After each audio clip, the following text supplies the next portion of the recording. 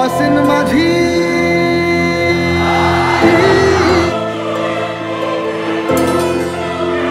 Thank you so much thank you কেমন লাগল আপনাদের? কোন সে পাড়ের বন্ধু?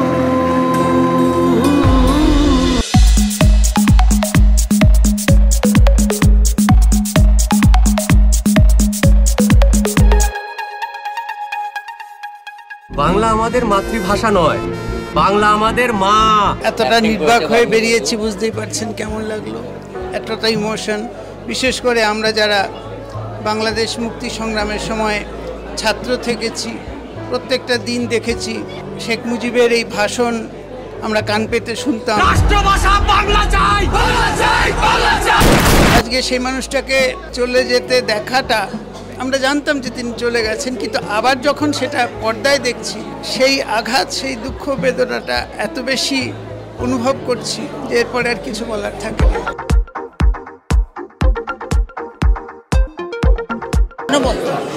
কি বলতে চাইবে হিসেবে বঙ্গবন্ধু হিসেবে আহ, কালকের শুরুকে দেখার আমার কিছু বলার নেই। শব্দ করে দিয়েছে। I am spellbound, excellent and enriching. যে আমাদের প্রজাতন্ত্রের দুইটা আলাদা প্রদেশ হতে হবে পশ্চিম পাকিস্তান আর পূর্ব বাংলা। আমি মুজিবকে আর শুভকে আলাদা করতে পারছিলাম না। এক সময় মনে হচ্ছিল সত্যি মুজিব অপূর্ব অভিনয়। প্রতিটি মানে ফুল বইটাই খুব ভালো ছিল। মুভিটাই খুব ভালো ছিল একদম মানে মোহগ্রস্ত হয়ে পড়েছিলাম।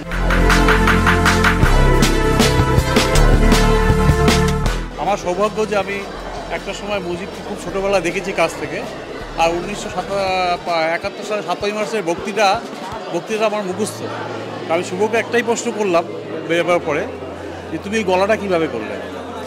কেননা মুজিবের গলা একটা অন্যরকম অ্যাট্রাকশন করে, বাঙালি হিসাবে। সেই জায়গাটা ও শুনতে শুনতে অবাক হয়ে যাচ্ছিলাম, ওই গলাটা কী করে করল? মানুষের সব কিছু চেঞ্জ করা যায় মেকআপে কিন্তু ভয়েস কী করে চেঞ্জ করে সেটা আমার কাছে খুব অবাক লেগেছে।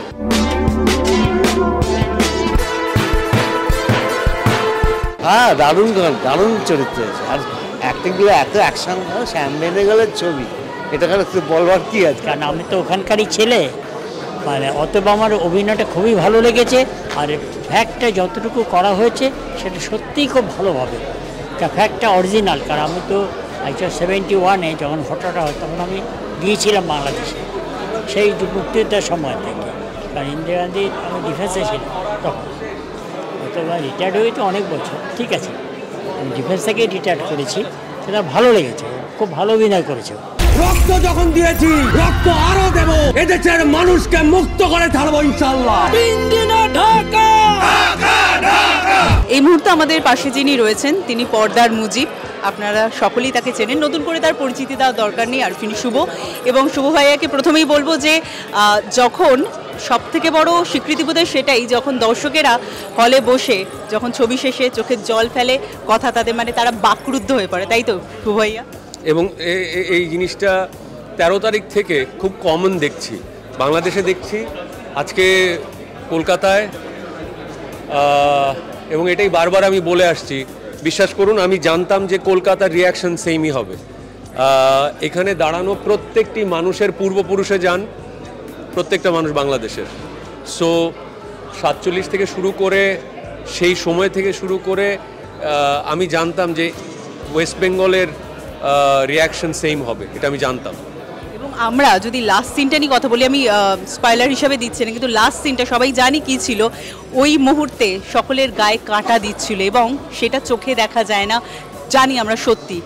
যদি আমি শোভাইয়াকে জিজ্ঞেস করি, যখন পরিবারের লোক দেখলেন এবং বঙ্গবন্ধুর পরিবারের যিনি আছেন, শেখ হাসিনা, তিনি যখন দেখলেন, কিরাম রিয়াকশন ছিল এই মুহূর্তে? আমাদের মাননীয় প্রধানমন্ত্রী এবং তার পরিবার এবং তার ছোট বোন মাননীয় শেখ রেহানা ওনারা বাকরুদ্ধ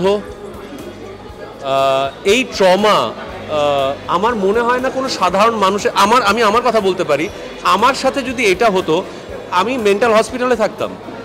এক রাতে যদি আমার পুরো পরিবারকে গুলি করে মেরে ফেলা হতো, আমি মনে হয় না আর স্বাভাবিক থাকতে পারতাম। এটা দশ বছরের একটা বাচ্চাকে কে মারে ভাই? পয়েন্ট ব্ল্যাঙ্ক দশ বছর, রাসেলের বয়স দশ বছর ছিল। কোনো মানুষ কোনো মানুষকে এভাবে মারতে পারে না। এর থেকে বর্বর কাণ্ড, কর্ম, এর থেকে নৃশংস অমানবিক, বর্বর রচিত কোনো ঘটনা ইতিহাসে আমার জানা নাই। শুভ ভাইয়ার কথা সূত্র ধরেই তাহলে বলি যে চরিত্রটা করতে গিয়ে মানুষটার মধ্যে দিয়ে তাকে তো জীবন্ত হতে হয়েছে, তাকে আবার জীবন্ত করেছিলেন নিজের মধ্যে দিয়ে। সেই মুহূর্তে প্রত্যেকটা মুহূর্তকে ফুটিয়ে তোলা পর্দায় নিজের কতটা মেন্টাল স্টেট কতটা কীরকম ছিল, কতটা চ্যালেঞ্জিং ছিল। কারণ পর্দায় চরিত্র ফুটিয়ে তোলা একরকম ব্যাপার আর একটা চরিত্রকে জীবন্ত করে তোলা আবার। আমার, আমি শুধু একটা কথাই বলব যে শ্যাম বেনেগাল স্যার আমাকে একটা কথা বলেছিলেন, সবার সাথেই শেয়ার করতে চাই। আমি ওনার বাহ্যিকটাকে রপ্ত করার চেষ্টা করছিলাম। শ্যামবেনেগাল স্যার বলল, ভুলে যাও, তুমি শেখ মুজিবুর রহমান নও। তুমি যদি শুধু বঙ্গবন্ধুর বাহ্যিকটাকেই করো, তাহলে মুজিবের কি হবে? তার আগে খোকার কি হবে?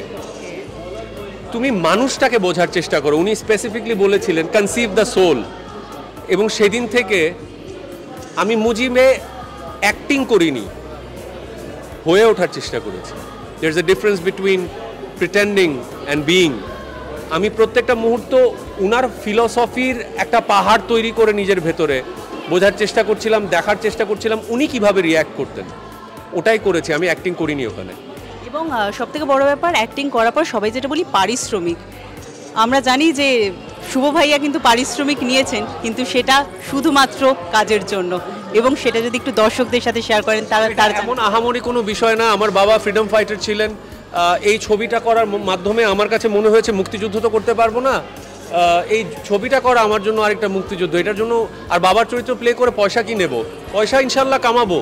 এই ছবিতে যেই সম্মান, যেই ইতিহাসের যেই একটা পার্ট হয়ে থাকা এক হাজার বছর পরেও এটা আর্কাইভে থাকবে।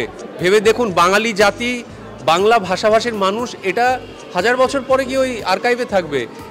এটা টাকা দিয়ে কীভাবে মূল্যায়ন করব আমি?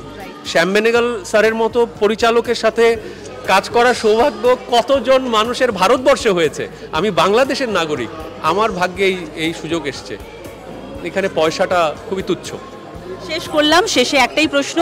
আমরা জানি যে আমরা বহুদিন পর শুভ ভাইয়াকে পেলাম কাজে এবং তার জন্য তার এই ডেডিকেশনটা সত্যি চোখে পড়ার মতো এবং তার তো রিয়াকশন সবাই দেখতেই পাচ্ছে।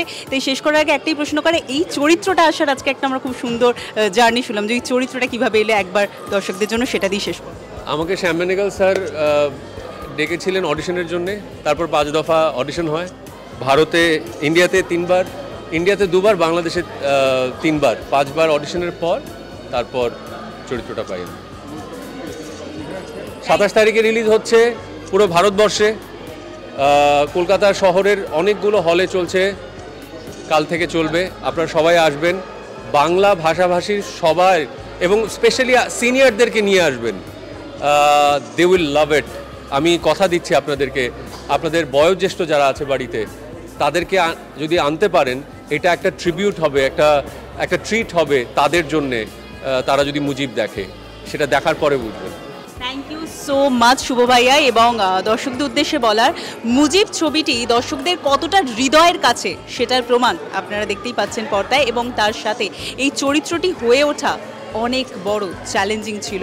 আমরা জানি আরিফিন শুভর কাছে। তার কথা আমরা শুনলাম, আর তারকাদের সম্পর্কে এরকম আরও খুঁটিনাটি জানার জন্য অবশ্যই নজর রাখুন সিটি সিনেমার পর্দায়। টলিউডের latest update gossip and entertainment পেতে সাবস্ক্রাইব করুন শুধুমাত্র সিটি সিনেমা আর ফলো করুন সিটি সিনেমার Instagram Facebook Twitter and ShareChat page